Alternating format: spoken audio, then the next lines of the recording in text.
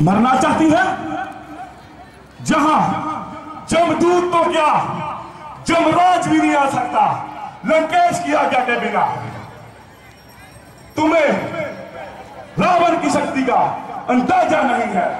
जिन शक्तियों की तुम बात करते हो वो तेरे पाप कर्मों के कारण कलंकित हो चुकी है दुष्ट रावण।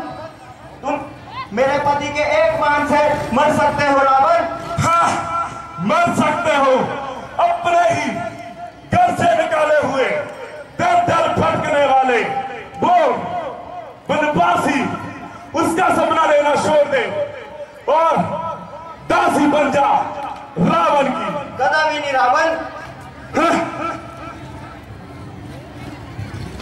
एक साल की आपत्ति खत्म होने में कुछ ही देर बाकी है।